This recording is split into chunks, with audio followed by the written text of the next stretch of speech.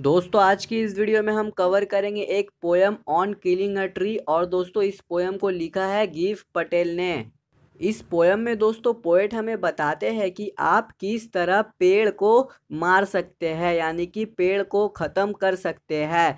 ऐसा नहीं है कि दोस्तों पोएट चाहते हैं कि हम पेड़ को मार दें। इस पोएम को लिखने का पोएट का मोटिव ये है कि दोस्तों, वो हमें बताना चाहते हैं कि पेड़ को मारना बहुत ही मुश्किल है। और अगर आप इस पेड़ को ख़त्म करना चाहते हैं तो आपको ये सब करना पड़ेगा। क्या सब? दोस्तों, ये जानने के लिए हमें पोएम को स्टार्ट करना पड़ेगा। तो आइए दोस्तों, आज की ये पोएम स्टार्ट करते हैं और नज़र डालते हैं इसके एनालिसिस पर।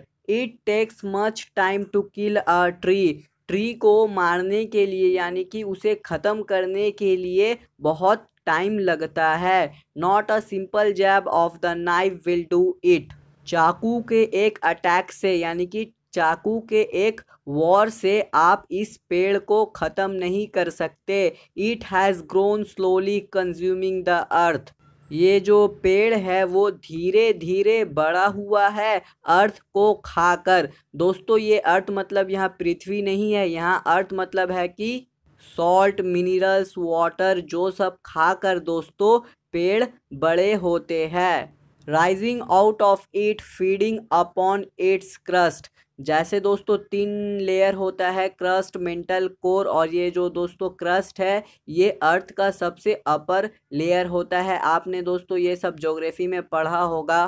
तो यहाँ पर पोइट कहते हैं कि पेड़ बढ़ने लगा और वो बड़ा होकर आ गया है अर्थ के क्रस्ट पर।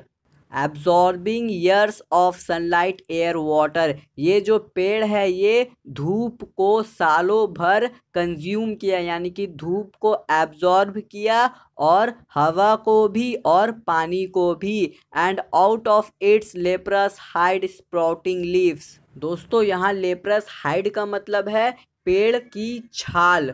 तो यहाँ पोएट कहते हैं कि पेड़ अपने लेप्रस हाइड के अंदर इन सभी चीज़ों को कंज्यूम कर कर, यानी कि एब्जॉर्ब कर कर वो निकालता है, स्प्राउटिंग लीव्स, यानी कि वो पत्ते बाहर निकालता है इन सभी चीज़ों को एब्जॉर्ब करने के बाद। So hack and chop but this alone won't do it दोस्तों हैक मतलब काटना और चॉप मतलब पीसेस में काटना, यानी कि टुकड़े में काटना। तो यहाँ पोएट कहते हैं कि पेड़ को काटने से और पेड़ को पीसेस में काटने से भी काम नहीं होगा। Not so much pain will do it और इससे पेड़ को बहुत ज़्यादा दर्द भी नहीं होगा। The bleeding bark will heal आप जब पेड़ को काट देंगे तो उससे कुछ नहीं होगा। पेड़ को जो चोट लगा है वो फिर से धीरे धीरे ठीक हो जाएगा।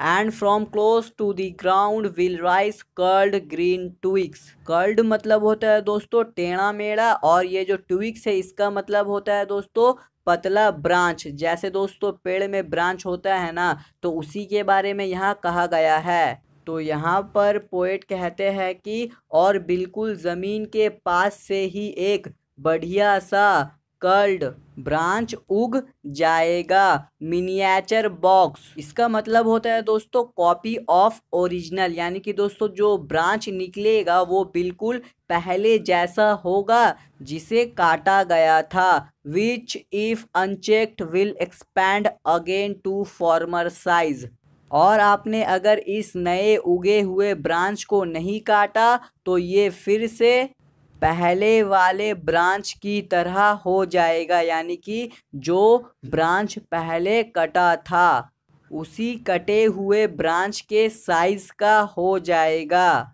No the root is to be pulled out. तो दोस्तों, यहाँ पोएट कहते हैं कि पेड़ को ख़त्म करने के लिए पेड़ के रूट को, यानी कि पेड़ के जड़ को निकालना पड़ेगा। If you want to destroy the tree then you have to pull out the root out of the anchoring earth दोस्तों, ये जो एंकरिंग है, इसका मतलब है कि जमा हुआ।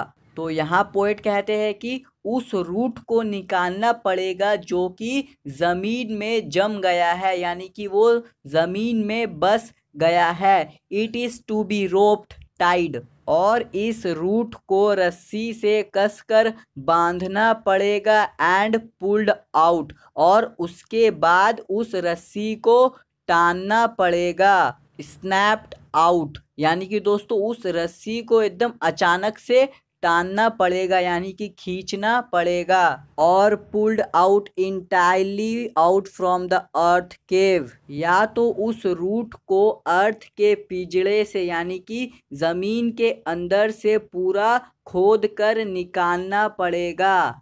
And the strength of the tree exposed मतलब कि उस रूट को वहाँ से बाहर निकाल कर रख देना होगा, जिससे कि उस रूट का जो ताकत है वो ख़त्म हो जाएगा। The source white and wet the most sensitive hidden for years inside the earth और वो जो रूट है, क्योंकि सालों से ज़मीन के अंदर है तो वो गीला है और वो सफ़ेद भी है और वो बहुत ही सेंसिटिव है। Then the matter of scorching and choking in sun and air फिर उस रूट को धूप और हवा में स्कॉर्चिंग यानी कि दोस्तों, उसे सुखाना होगा और उसे हीट देकर उसका दम घुटाना होगा। दोस्तों स्कॉचिंग मतलब होता है एक्सट्रीमली हॉट यानी कि बहुत गर्म, और ये जो चोकिंग है, इसका मतलब होता है सुखाना। तो चलिए दोस्तों, अब आगे की लाइंस पढ़ते हैं। ब्राउनिंग यानी कि उस रूट का दम तब तक घुटाना पड़ेगा जब तक कि उसका कलर ब्राउन ना हो जाए। यानी कि दोस्तों, जब हम खाना पकाते हैं और किसी चीज़ को बहुत ज़्यादा गर्म करते हैं तो वो ब्राउन कलर का होता है ना? तो उसी के बारे में यहाँ कहा गया है। हार्डनिंग और वो रूट जब तक हार्ड ना हो जाए, यानी कि मज़बूत ना हो जाए twisting withering and then it is done और उस रूट का दम तब तक घुटाना पड़ेगा जब तक कि वो रूट टेढ़ा मेढ़ा ना हो जाए और कमज़ोर होकर मुरझा ना जाए। फिर आप फाइनली पेड़ को मार सकते हैं।